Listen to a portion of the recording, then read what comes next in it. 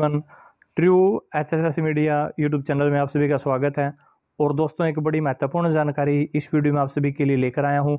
जानकारी क्या ये जानने के लिए वीडियो को लास्ट तक ज़रूर देखिएगा। और यदि आपने अभी तक अपने चैनल को सब्सक्राइब नहीं किया है, चैनल को सब्सक्राइब कीजिएगा, बेल आइकन को प्रेस कीजिएगा ताकि मेरी हर वीडियो का नोटिफिकेशन सबसे पहले आपके पास पहुँचे। तो लीजिए, शुरू करते हैं अपनी आज की वीडियो, जो कि मेहनत करने वाले, पढ़ने वाले जो बच्चे हैं, जो फ़िलहाल तैयारी कर रहे हैं, उनके लिए एक महत्वपूर्ण खबर यहाँ पर है।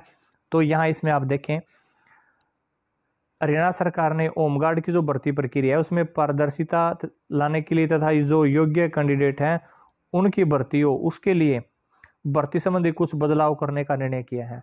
तो किस प्रकार के बदलाव किए हैं, किन का सिलेक्शन होगा, क्या कुछ आपको क्लियर करना होगा, ये इस वीडियो में हम देख लेते हैं। तो नीचे इसमें ये नियम दिए गए हैं, जो मैं आपको दिखा रहा हूँ। तो यहाँ देखें आप, होमगार्ड की जो नई भर्ती प्रक्रिया है, उसमें जो भी बच्चे शामिल होना चाहते हैं, उनको पुलिस की तरह जो भी रिक्वायरमेंट्स हैं, जैसे शारीरिक मापदंड, शारीरिक दक्षता, दौड़, ये सारी चीज़ें क्लियर करनी होंगी।